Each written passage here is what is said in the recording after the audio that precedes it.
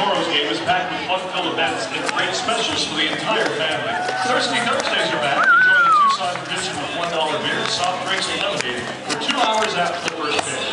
The very last Thirsty Thursday of the season is this Thursday, September 12th, September 2nd, that is, at 7 p.m. Fans every Friday of the season brings a spectacular post-game.